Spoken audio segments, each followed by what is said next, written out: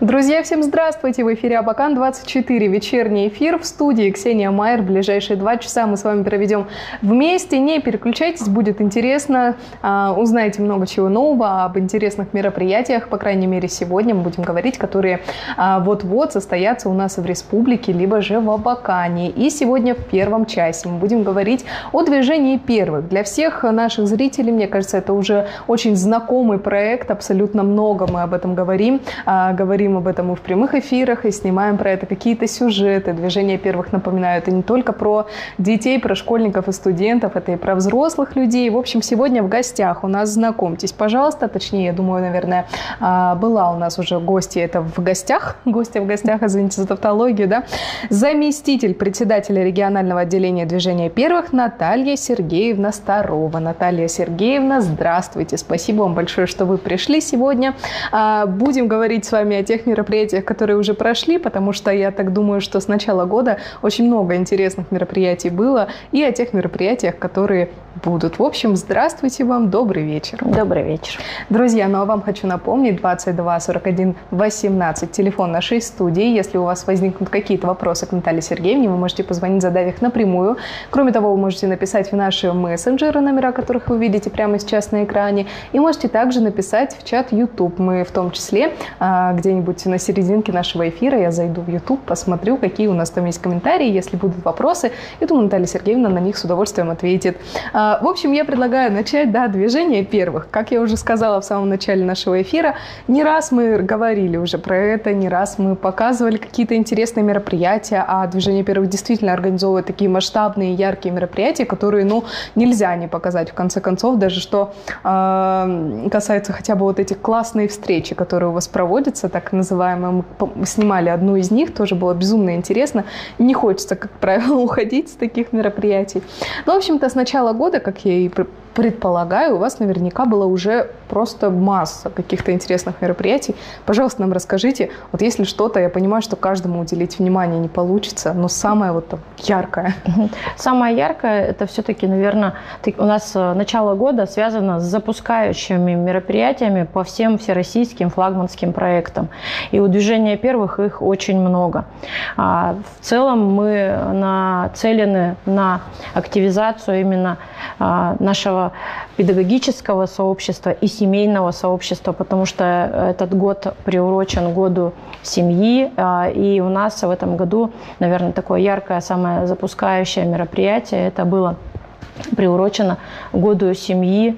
А, у нас есть Трек называется «Родные любимые», который был создан по инициативе наших родителей, которые сопровождают участников а, по всей России на различных мероприятиях, которые хотят быть причастны к успеху детей, и они действительно заслуживают того, чтобы быть рядом с ребятами.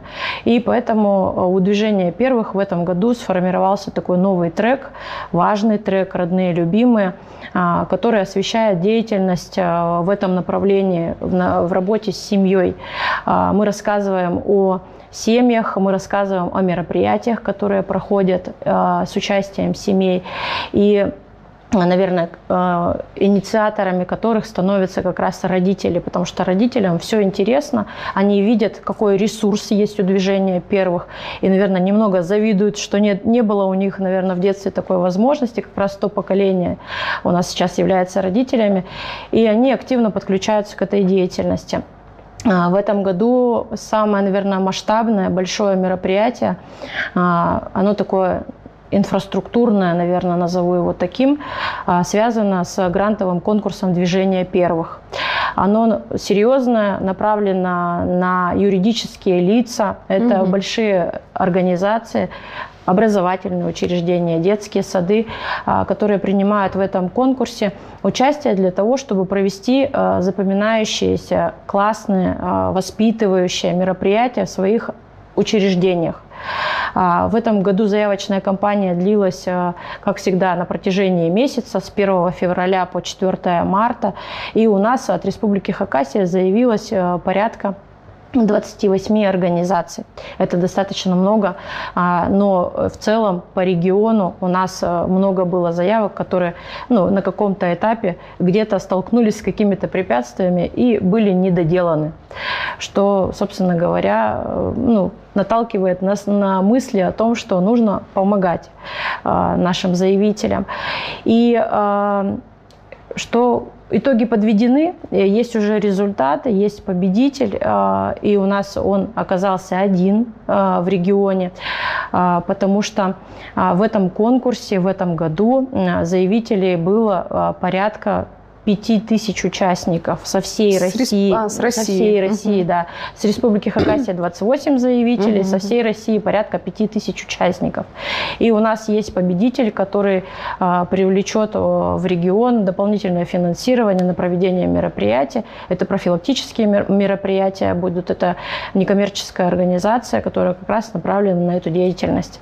Вот. Они получат грант в размере 4,5 миллионов рублей на профилактическую работу. Мы знаем, что сейчас такое а, сложное время, а, которое требует а, повышенного внимания к детям, и в том числе нужно требуется уделить внимание а, в вопросах профилактики, и именно как раз э, вот этот грант направлен на эту такую кропотливую, а, большую работу а, со всеми жителями нашего региона. Работа по всем аспектам, то есть имеется в виду и социальное, и какое-то там патриотическое У них э, большой, это Сальников Алексей, у него есть своя некоммерческая организация, которая занимается профилактикой Э, наркомании, вот mm-hmm. с зависящими да, э, ребятами работают. Э, и они как раз еще добавили в свое направление работы как раз блок по профилактике, деструктив, ну, по работе с деструктивными сообществами. То есть, чтобы ребята знали и были информированы, как не попасть в такие сообщества, как не стать жертвой э, вот э, таких обманщиков, да, которые обещают золотые горы и заманивают ребят в такие неприятные ситуации. Вот. И э, буквально в эту пятницу у нас пройдет ну, такой, наверное, семинар э, по подведению итогов грантового конкурса, на который мы всех участников приглашаем, а может быть потенциальных участников следующего года. Он будет у нас проходить в фонде МЦСИП – это э, наша некоммерческая организация, которая поддерживает всех участников. У них есть хороший, комфортный э, конференц-зал, который будет рад всех завтра встретить в 16.00. Чертогашева 90, 36 кабинет.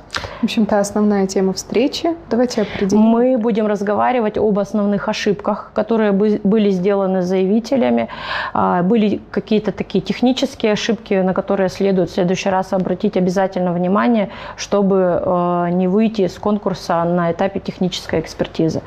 И э, будет на этом, как раз на этой беседе присутствовать эксперт, э, грантового сообщества, который оценивал работы, он видел основные ошибки и может вот, участникам дать как раз консультацию грамотную, чтобы все было учтено и в следующем году можно было дальше вот это развивать. Но вот я хочу сказать, что грантовый конкурс – это, наверное, такой э, проба. Нужно пробовать, э, потому что мы все знаем, что инфра инфраструктура, да, организация, она сама не развивается, и наши такие актуальные потребности никто не удовлетворит, кроме нас. Поэтому мы всех призываем к участию. И у нас сейчас есть очень э, хорошая возможность для всех первичных отделений. Первичное отделение – это а, все организации, где есть дети. Это образовательные, это школы, это, например, центры дополнительного образования. А, для них как раз сейчас проводится такой конкурс первичек. Угу. Как раз э, все начинается именно со школы. А, все проекты реализуются у нас как раз через школу. И все запускающие мероприятия, они тоже идут в первую очередь на уровне школы. Наши коллеги делают большую, огромную работу с ребятами. Региональное отделение, оно, может быть, и хочет дотянуться, и, конечно же, хочет дотянуться до каждого, но у нас не хватает рук, потому что, например, э, какие-то отдаленные муниципалитеты мы бываем там, ну, может, три раза в год максимум, а коллеги работают с ребятами на протяжении всего года. И, конечно же, у них есть э, много интересных идей, у них есть много интересных проектов, которые они готовы вместе с ребятами у себя в школе, а может быть и в детском саду вместе с участием родителей реализовать. И э, вот этот конкурс, э, как раз он такой мини-грантовый конкурс, проводится для вот этих первичных отделений. Э, конкурс очень простой, нужно просто подать заявку, а, открыть кабинет куратора и рассказать о своей организации, о своей первичке, что они там делают такого уникального, интересного, полезного, что может пригодиться ну, кому-то другому. Рассказать о своей социальной инициативе. Это такой мини-проект, который позволит улучшить жизнь а, в их образовательной организации или провести какое-то классное мероприятие. И а, в целом они должны просто принимать участие в проектах движения первых, а у нас их очень много. А, и победители будут объявлены а, в июле месяце. Это будет более двух тысяч организаций по всей России.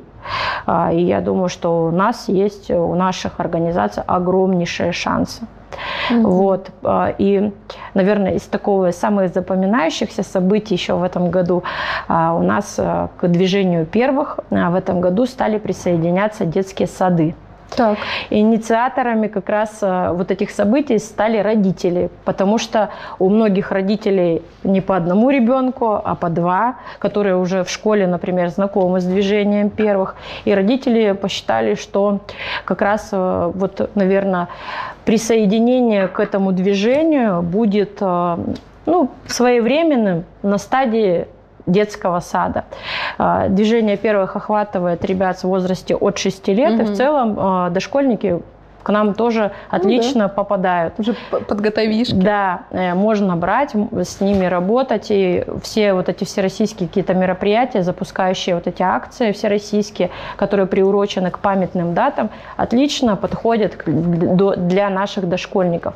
У нас в Абакане Открыта пока одна а, а, первичка в детском саду Калинка. Это ваши соседи по студии практически, да, недалеко находятся.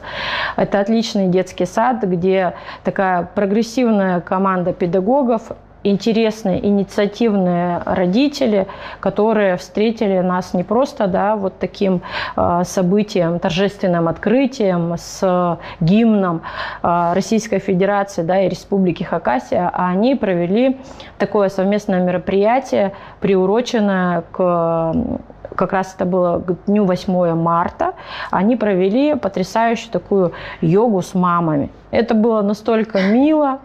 Э, ребята ну, может быть, не сильно осознают, э, в какую систему, да, в какую организацию они попадают, но э, это такое запоминающееся событие, которое все равно оставит отпечаток, ну, вот в роди... у родителей точно. Ну, на, элементарно на уровне психологии у ребенка да. уже останется отпечаток, потому что э, это все равно какая-то активная э, позиция, постоянно какие-то мероприятия, что-то интересное, нужно не просто выучить стихотворение, да, перед каким-то э, праздником, праздникам, ко дню мамы или ко дню папы, да, это уже немножко другое совсем. У ребенка, конечно, откладывается. Плюс ко всему это социализация в первую очередь, да. потому что дети, опять же, общаются не только между собой, к ним приходят гости, да, взрослые, да. те же самые региональные отделения, председатели, кто-то еще.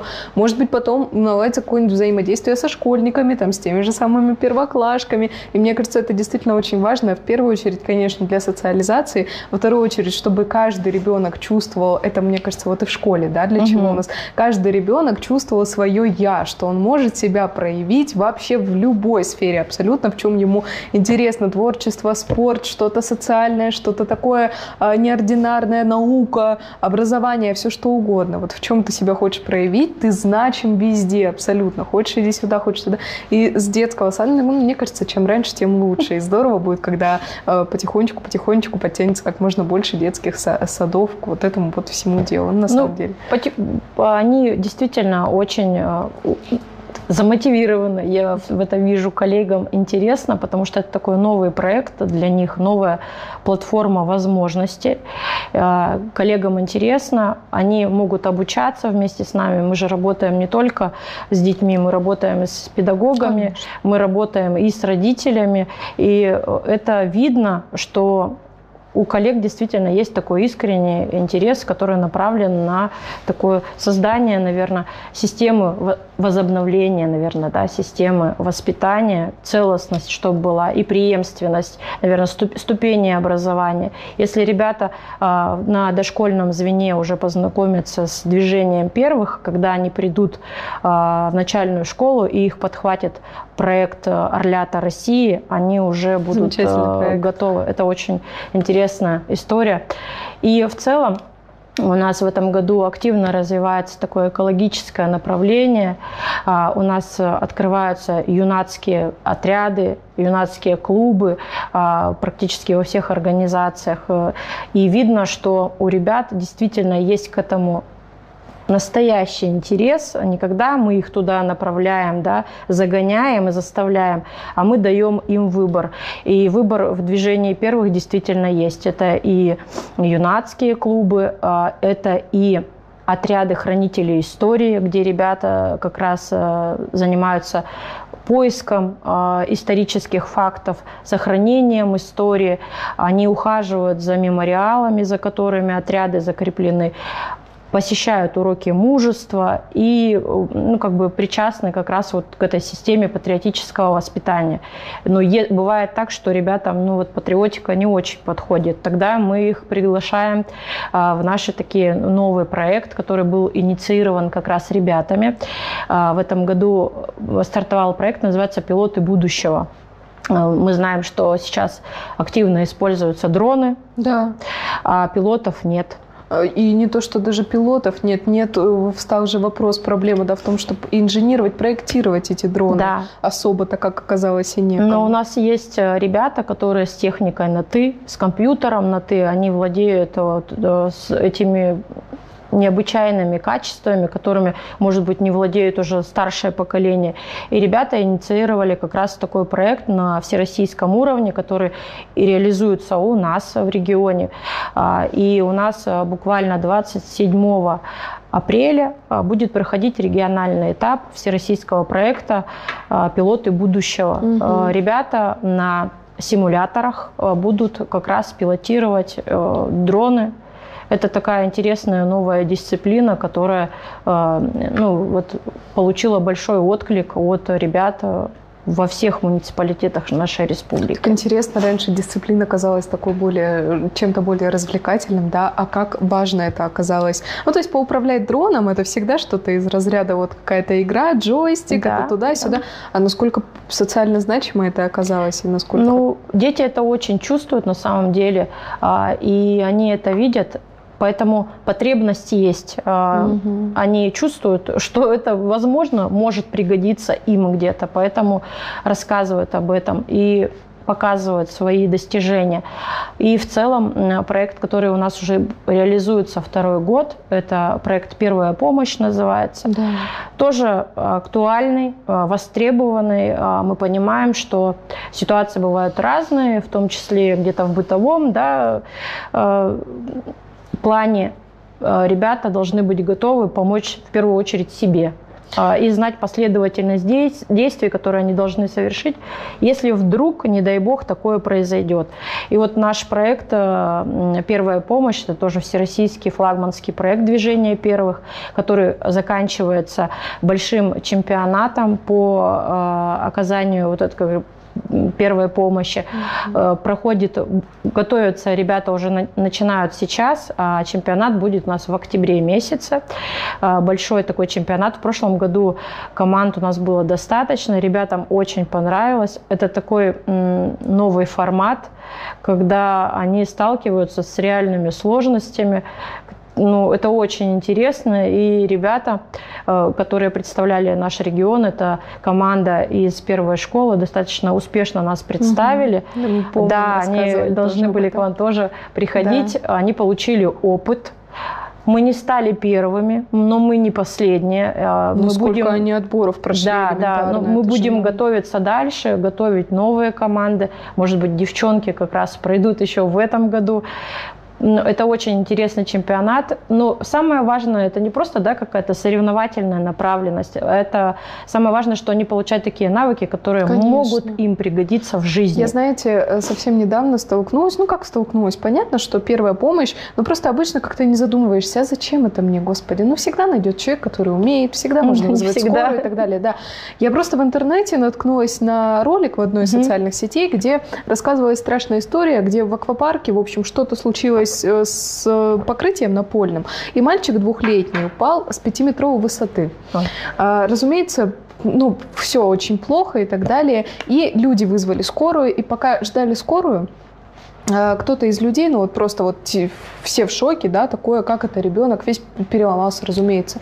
Э, очень страшно звучит. Но тем не менее, взрослые люди, мужчина и женщина, а, взяли его на руки и переложили на другое место. А, на что, ну как бы, понятно, у меня в уроке ОБЖ просто в школе были, и я знаю, что при падении вообще с высоты ни в коем случае шевелить там человека, да, нельзя, если у тебя нет каких-то определенных там э, навыков и так далее. На что я просто шла в комментарии, мне стало так интересно, интересно. И очень большое количество людей пишет, а что такого они сделали? А почему вы их угу. осуждаете? А что им надо было его просто так оставить валяться там до приезда скорой? И просто вот про, элементарно прочитав, понимаешь, насколько вот просто не хватает действительно людям элементарных знаний об оказании первой медицинской помощи, да даже не об оказании первой медицинской помощи, а знаний о том, чего делать категорически нельзя, что да. можно навредить. Там. То же самое, когда человек угу. ударился током сильно и так далее. Можно навредить не только ему, но и себе. В общем, я считаю, что вот этот вот проект один из самых, на мой взгляд, важных, э, прям абсолютно для всех, для тех, кто учится, и для остальных, кто, к счастью, для кого окажется этот человек в окружении. Не дай бог, кому-то когда-то потребуется помощь. Скорая вот такая вот и подросток да. любой абсолютно сможет ее оказать. Это действительно очень важно. Да, и сейчас вот в рамках этого проекта как раз стартовали а, мастер-классы по оказанию первой помощи, которые будут проходить во всех образовательных организациях с участием волонтеров, медиков, это наши партнеры, а, и с участием, безусловно, Красного Креста. А, у них есть как раз обученные специально люди, которые могут провести эти мастер-классы, рассказать, показать. У нас есть манекены, которых можно использовать э, для обучения а, сердечно-легочной реанимации угу. и при подавлении тоже. Вот. И самое важное, наверное, что сейчас проходят даже бесплатные курсы по оказанию первой помощи на сайте будет движение.рф, к которому можно присоединиться абсолютно бесплатно, пройти обучение и уже наверное, смело, спокойно шагать по жизни. Да, знаешь, что ты в любую секунду можешь быть полезен и можешь кому-то действительно помочь, ну, может быть, не спасти жизнь, но продлить ее, скажем так, ну, да. до приезда хотя бы элементарно. Хотя бы знать, куда позвонить. Хотя бы знать, куда позвонить. Ну да, действительно. А, скажите, пожалуйста, еще вот мы знаем, что совсем скоро у вас, ну, лето у нас уже на носу, да, будет зорница. Это что-то будет масштабное, интересное? Расскажите чуть более О, Это для нас новый проект а, для движения первых. В прошлом году он проходил а, в двух форматах, в старом и в новом. И в этом году он такой переживает э, перерождение принятие у всех. Э, у всех формат был этот запланирован во многих муниципалитетах нашей республики. У кого-то масштабно, у кого-то менее масштабно, в формате зорнички, в формате, например, конкурса строя и песни. Но это все может быть частью большого вот этого нашего проекта «Зорница 2.0». Mm-hmm. Это а, всероссийская военно-патриотическая игра, которая как раз охватывает огромное количество вот таких смежных с военной специальностью дисциплин. А, в этом году муниципальные этапы проходят сейчас вот на протяжении апреля, в начале мая во всех муниципалитетах э, нашей республики. Коллеги работают э, с партнерами, договариваются, ищут необходимое оборудование, потому что, оказывается, не все у нас есть, но в ближайшее время, я думаю, что... Оборудование нужно. Да, безусловно, там очень все серьезно, очень большой технический такой райдер, поэтому в рамках этого проекта ребята а, оказывают, показывают свои а, навыки как раз владения в оказании первой помощи, тактический бой. А, они показывают свои знания истории России, именно как становилась вот наша Государство. Государство, да, собственно говоря, с чего все начиналось. Они зна- показывают свои знания в военной подготовки, знания э, погон. Я в этом mm-hmm. очень не сильна. Я так вот посмотрела, так думаю, надо много знать действительности, когда человек такой не близкий к этому. И, э, безусловно, строевая подготовка. Э, и у них в зависимости от, от возрастной категории будут варьироваться перечень дисциплин ребята готовятся. На самом деле у нас в регионе такой небольшой ажиотаж э, в рамках этого проекта. И ребятам интересно, действительно интересно. Никто не ожидал, но у нас сейчас уже э, более полутора тысяч заявок подано. С нашего региона? Да. Да вы что? на муниципальной уровне. Э, поэтому коллеги готовятся э, к проведению этих. Это очень ответственно, э, потому что с муниципалитета в муниципалитете может выступить порядка там, ну, сколько образовательных организаций, столько и команд. А на регион приедет только всего лишь одна команда в одной возрастной категории. Это очень ответственно. Мы готовимся тоже к региональному этапу прорабатываем с партнерами возможные вот все, все, что возможно, все с партнерами договариваемся. А пока сейчас в планах а, проведения это наша войсковая часть. А, как раз там есть все необходимое для проведения и ну, отбора по строевой подготовке. И есть там как раз полоса препятствий, которая необходима для этого конкурса э, проекта да, «Зорница 2.0». И есть у них э, все необходимое для того, чтобы ну, как бы достойно организовать региональный этап. У нас вот как раз на следующей неделе пройдет такой большой штаб региональный, где встретятся все министерства и ведомства. Будем обсуждать, э, будем планировать, но готовимся к большому интересному и серьезному мероприятию. Это лето, да? Нет, Нет, это будет мероприятие, оно у нас должно пройти по нашей э, вот временной такой сетке, оно должно пройти в конце мая. Ага. Региональный этап должен завершиться в конце мая. Предварительно мы планировали на 22-23 число. Если все будет замечательно и мы достигнем всех договоренностей, то именно так и произойдет. Вот. Если какие-то будут препятствия, может быть что-то, ну, всегда бывают сложности, Конечно. будем сдвигаться. Но э, мы заинтересованы в этих датах, потому что у ребят сейчас э, стартует очень важный жизненный период, это сдача экзаменов.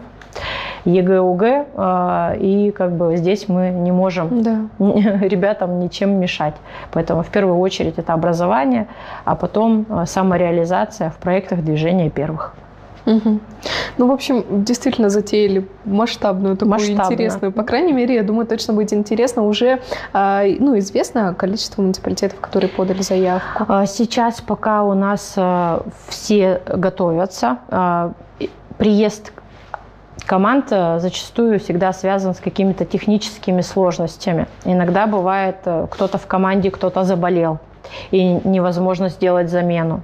Иногда бывает э, нет транспорта, и ну, мы сейчас стараемся всем помогать, и коллеги в целом, и э, муниципалитеты откликаются, помогают ребятам. А, а я вам хочу сказать, и родители готовы ребят привозить э, на такие мероприятия, поэтому думаю, что все будет хорошо. Ждем все 13 муниципалитетов, угу. готовы будем всех принять.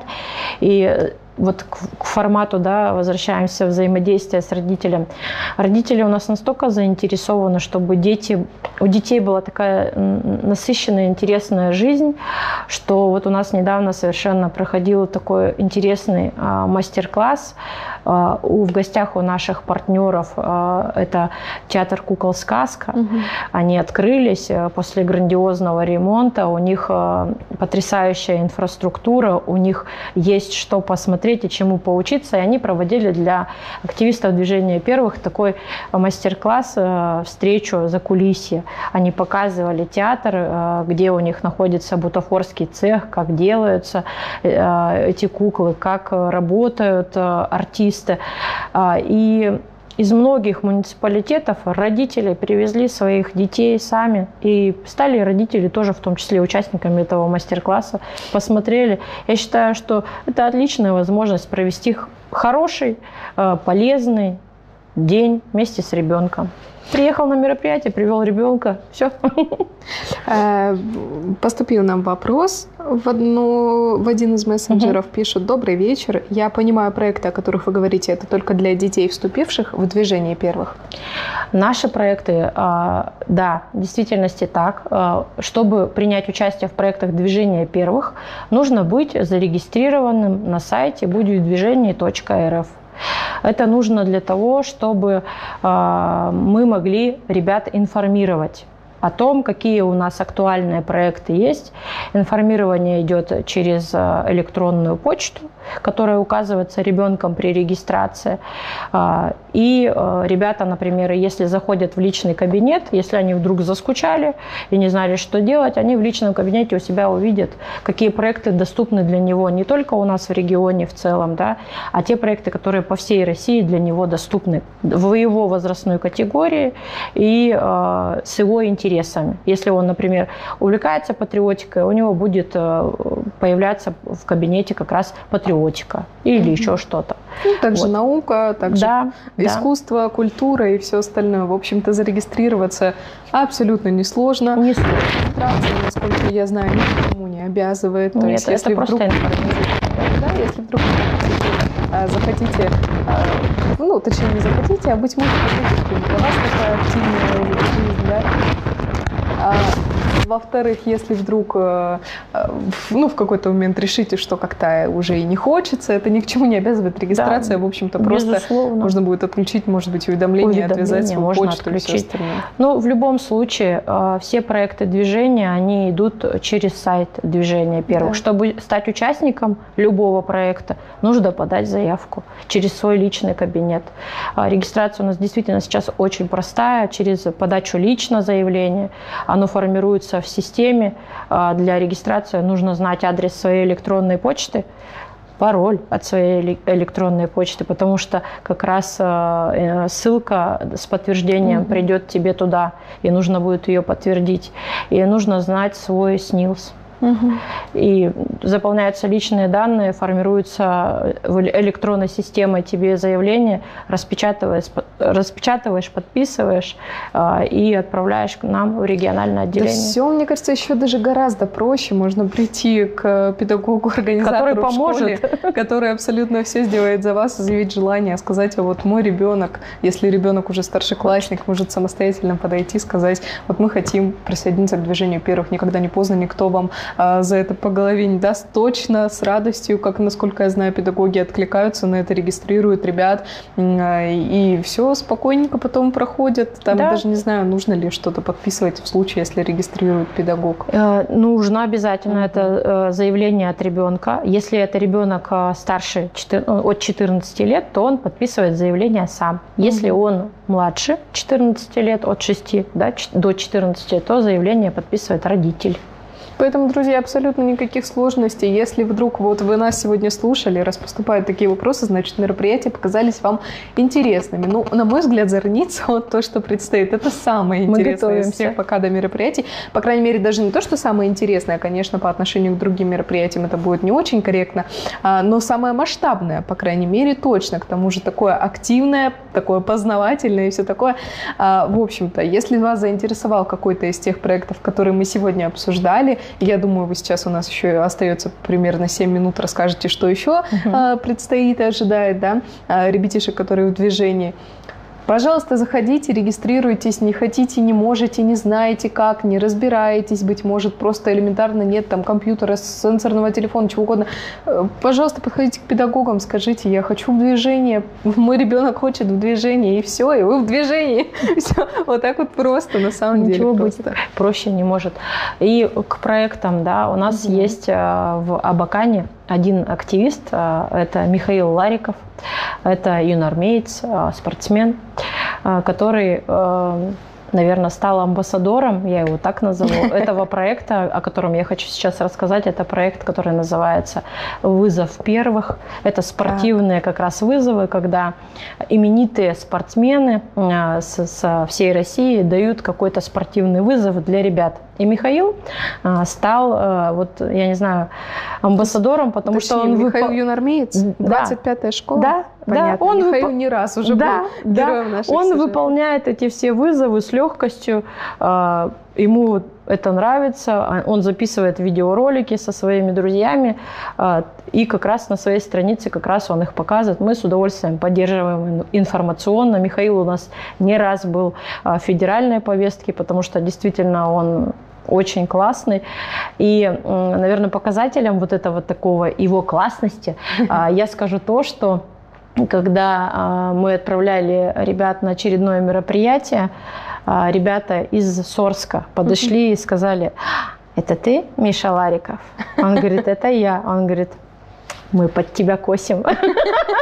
Ну, то есть вот этот такой проект, который как раз объединяет ребят показывает, что все возможно. Главное пробовать, главное участвовать, и для каждого найдется. Если возвращаться к проекту по спорту «Вызов первых», да. а, у нас буквально 20 а, числа, это на следующей неделе, в субботу, а, будет проходить региональный этап всероссийского проекта «Вызов первых». Это такие спортивные дисциплины, как раз тоже на четыре категории возрастные распределенные, начиная от классиков, которые прыгали все, да, а, и заканчивая бесконтактным регби. Которые, вот эти дисциплины а, будут у нас проходить а, на ну, региональный этап на базе нескольких школ города Абакана, потому что настолько нас много, что мы в одну образовательную организацию уже не входим. Вот. Э, сейчас мы ведем тоже такой подготовительные работы. Э, работаем с нашей судейской коллегией, которая будут оценивать э, достижения ребят. Вот. Будем выбирать самых лучших, самых достойных и следить за их успехами. Вот. Ну, звучит, по крайней мере, здорово. Мне кажется, это будет интересно. Это, как всегда, будет масштабно. Как я в самом начале эфира и говорила, движение первых – это всегда о масштабе, это всегда о чем-то да. интересно. Уже запланировали какие-нибудь классные встречи, если не секрет, кто будет следующим вашим? Вообще, э, классные встречи всегда рождаются, наверное, по инициативе ребят. Они mm-hmm. нам рассказывают, э, с кем бы они хотели встретиться, и мы всегда стараемся их поддержать э, в этом плане. А сейчас э, пока ну, вот на, на ближайший период у нас не запланированы угу. большие такие вот классные встречи. Буквально сегодня прошла классная встреча для классных. Это такой новый формат, э, когда классные руководители встречаются с каким-то э, человеком, который ну, может их чему-то научить. И вот сегодня закончился региональный чемпионат Абилимпикс для ребят да.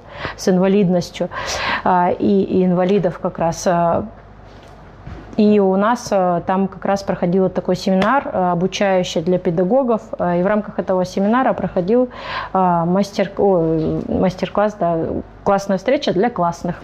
Угу. Вот коллеги встречались с амбассадором, я опять назову это слово, регби угу. в нашем регионе. Это Алеев, да? Да, Андрей уже Алеев, была, да. встреча вот мы, была. ну, а тут мы педагогов угу. знакомили, он рассказывал о возможностях, как раз э, он нам помогает в организации бесконтактного регби, э, и его ребята будут помогать судить этап.